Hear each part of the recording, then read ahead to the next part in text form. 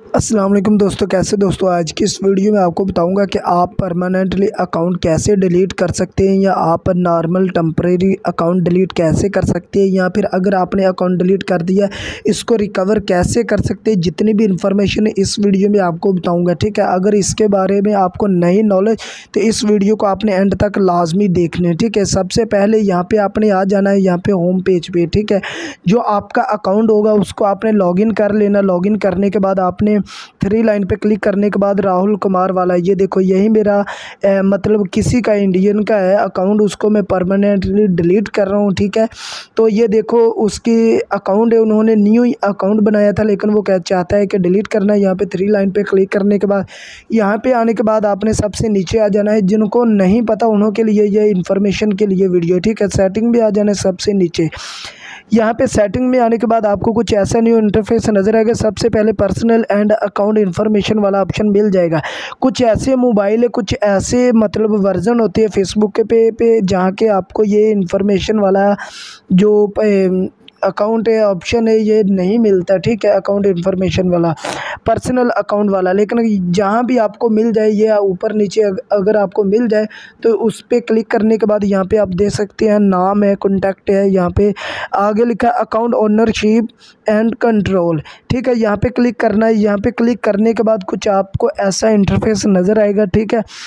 यहाँ पे आपको लिखा होगा डीएक्टिवेशन एंड जो है ना, यहाँ पे आपने क्लिक कर देना है, ठीक है। यहाँ पे नीचे वाले ऑप्शन पे क्लिक करने के बाद यहाँ पे देख सकते हैं डीएक्टिवेट या डिलीटिंग मतलब डिलीटिंग योर फेसबुक अकाउंट ऊपर वाला डीएक्टिवेट अकाउंट है, ये यानी कि टम्परेरी आपका अकाउंट जो है ना डीएक्टिवेट कर जा कर दिया जाएगा, लेकिन आप इसको एक्टिवेट भी कर सकते हैं। नीचे आ गया डिलीट अकाउंट यहाँ पे delete your account is permanent ये आपका अकाउंट परमानेंट डिलीट होगा, यहाँ पे कंटिन्यू टू अकाउंट पे क्लिक करना है। यहाँ पे क्लिक करने के बाद कुछ ऐसा इंटरफेस नज़र आएगा। यहाँ पे आपने कंटिन्यू टू अकाउंट डिलीट वाले ऑप्शन पे क्लिक करना है, ठीक है?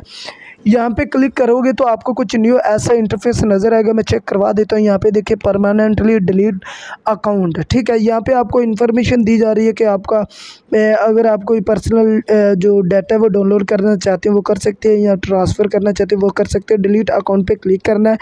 यहाँ पर क्लिक करने के बाद यहाँ पर वो कन्फर्म मांग रहे हैं कि कन्फर्म दिस योर अकाउंट यानी कि यही आपका कन्फर्म अकाउंट है, जो राहुल कुमार के नाम का है, इसको डिलीट करना चाहते हैं। नीचे आपने पासवर्ड देना पासवर्ड देने के बाद आपने कंटिन्यू वाले ऑप्शन पे क्लिक कर देने यहाँ पे क्लिक करने के बाद यहाँ पे फिर वो पूछ रहे हैं कि कन्फर्म पर्सनल अकाउंट मतलब जो आप डिलीट करना चाहते हैं, इसको डिलीट करने के लिए आपको कुछ यहाँ पर इन्फॉर्मेशन भी दी गई है कि तीस दिन के लिए आपको इसको रिकवर भी कर सकते हैं, इसको आप कर सकते हैं। ठीक है, अगर नहीं करना चाहते तो यहाँ पे डिलीट वाले ऑप्शन पे क्लिक कर सकते हैं। यहाँ भी आप कैंसिल कर सकती है। यहाँ पे देखिए लॉगआउट ऑटोमेटिकली हो गया। यहाँ पे कुछ ऐसा कनेक्शन का इशू आ गया। री रिफ्रेश करने के बाद यहाँ पे देख सकते हैं प्लीज़ लॉगिन दोबारा इसको लॉगिन कीजिए।